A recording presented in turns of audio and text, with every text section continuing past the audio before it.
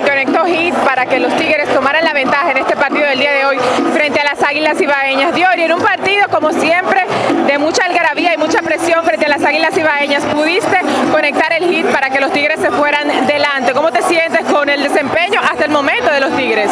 Tú me entiendes, yo creo que sí, yo creo que todas las cosas han salido bien en estos primeros seis juegos. Eh, juego como el de ayer, el de hoy, yo creo que aproveché la oportunidad, tú me entiendes, una situación que yo sabía que tenía, tenía que producir para mi equipo y gracias a Dios a la hora buena salió el hit, yo creo que, nada, tú me entiendes, así cada día vamos a estar apoyando cada pelotero uno, ayer fue Liriano, hoy fui yo, eh, yo creo que cada quien está poniendo su cariño de arena.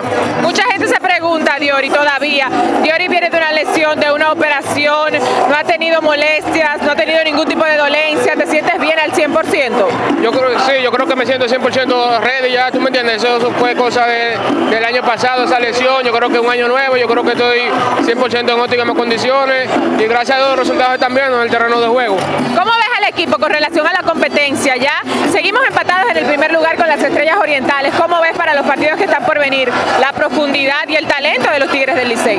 Seguir lo que estamos haciendo en estos seis juegos, yo creo que de salir a jugar fuerte el terreno de juego, sin nada por vencido, tú me entiendes, jugar, eh, tú me entiendes, día a día, sin importar el contrario, quien sea, tratar de ganar los juegos más que se pueda. Bueno, felicidades, Diori, muchísimas gracias. Gracias a ti. Seguimos con más de Licey TV.